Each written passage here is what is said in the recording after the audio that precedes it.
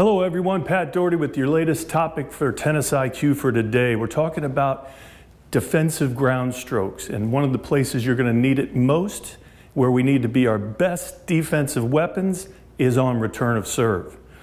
So, in order to play tight to the baseline and stay in an offensive position, you have to be able to eliminate and trim out any excess takeback.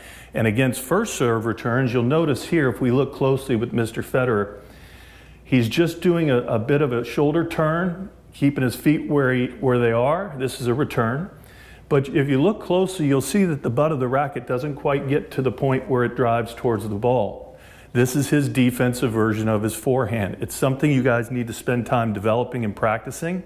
I remember back in the days when Andre Agassi was growing up here, he became one of the greatest returners of all time, and one of the exercises we used to do with him is put his back against the curtain indoors, and then we would practice serving at him, and he wasn't able to take that racket back at all because it would run into the back backstop, which you can try doing too, and have people feed you balls where if you go back any further, it's blocking that going back. So learn how to be able to reduce the butt end out like you see Federer doing here.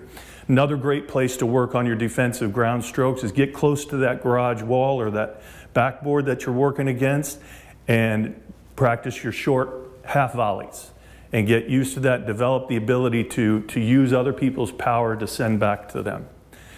Put some time into the defensive versions. It's not always just about being able to set and strike bigger than the ball you receive. A lot of times we have to make the concession that I'm facing the biggest weapon they've got in their game and it's their first serve. I better put a good defense out on the court to address that. Good luck working on it.